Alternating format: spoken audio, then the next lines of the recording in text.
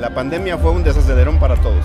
y nosotros en Yecapixtla que vivimos del turismo en su mayoría también no fue la excepción. Sin embargo, con las medidas que se adoptaron por la administración anterior y, que nosotros dimos continuidad, pues prácticamente el turismo no se detuvo. Aquí siempre en Yecapixtla hubo esa, promoción y, y gracias a Dios y a la preferencia de los turistas, pues fuimos bendecidos con su preferencia, valga la redundancia. Entonces, eh, a partir de ahí, eh, nosotros hemos seguido promoviendo turísticamente al municipio y, queremos que esto, que Yicapixtla va en la ruta de ascenso, no sea diferente. Hemos eh, seguido impulsando la feria, en este caso Festival del Tianguis Grande, que en años anteriores nuestra feria ha sido